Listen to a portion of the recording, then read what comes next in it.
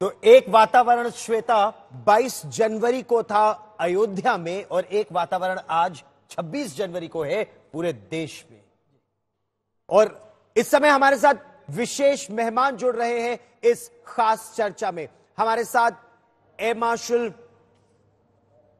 Sir स्वागत है आपका हमारे साथ है। Air marshal Anil Chopra, Mirage pilot है former air officer centre director है centre for air pass studies vice admiral Shekhar Sinha हमारे साथ जुड़ रहे हैं। Former flag officer commanding in chief western naval command और जनरल राजेश सहाय आप पूर्व परेड कमांडर रह चुके हैं। ये जो परेड 26 जनवरी को निकलती है और chief of staff Delhi area थे और जनरल सहाय मेरा पहला प्रश्न आप ही से है, किस तरह से आप हमें बताएँगे? इस समय क्या अनुभूति होती है जब परेड बिल्कुल शुरू होने की तैयारी कर रही होती है? जय हिंद और गणतंत्र दिवस में आप सबका स्वागत है। इस समय इनफैक्ट रात के दो से तीन बजे तक हम लोग सब विजय चौक पर इकट्ठे होते हैं। दिल्ली की ठंड में बिल्कुल ठंड नहीं लगती। आप यूनिफॉर्म में हैं, शर्ट में हैं, परंतु वो जज्बा इतना होता है, अपने गणतंत्र का, अपने भारत माता का, कि ठंड की तो कोई बात ही नहीं। और इस समय सारे लोग, सारे जवान ऑफिसर्स और झांकियाँ सब तैयार होते हैं कि अब गणतंत्र दिवस स्टार्ट हो और हम उस कर्तव्य पथ पे अपना झंडा लहराएँ। और देखने पे बनता है कि वहाँ पर क्या माहौल है क्या हर्ष है क्या उल्लास है।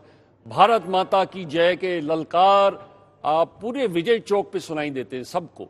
और वो भारत माता की जय के जो जयकारे लगते हैं इस समय इस बात इस बार की जो परेड है ए मार्शल चोपड़ा उसमें हम ये भी देखेंगे कि जो रफाल लड़ाकू विमान है, न केवल भारतीय वायुसेना, बल्कि फ्रांस की वायुसेना इसी कर्तव्य पथ के ऊपर उड़ाएगी वो रफाल लड़ाकू विमान।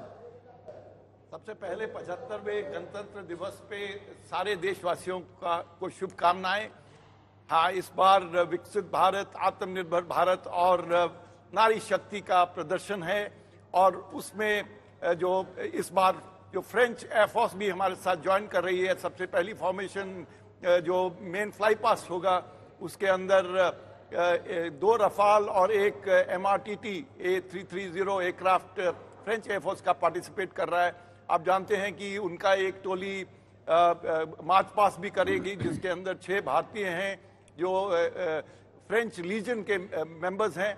और नारी शक्ति में मैं बताना चाहता हूँ कि 80 percent of all people participating इस परेड के अंदर वो विमेन होंगी। और अग्निवीर की एक टोली होगी। Hundred forty four Agniveer women Agniveer की एक टोली होगी। और कई जो ग्रुप्स आएँगे परेड पे नारी नारियाँ ही उनको लीड करेंगी।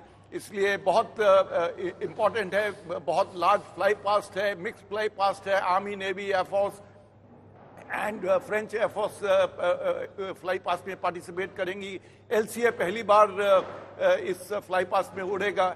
इसलिए बहुत ही uh, ये इंटरेस्टिंग फ्लाई पास होने वाला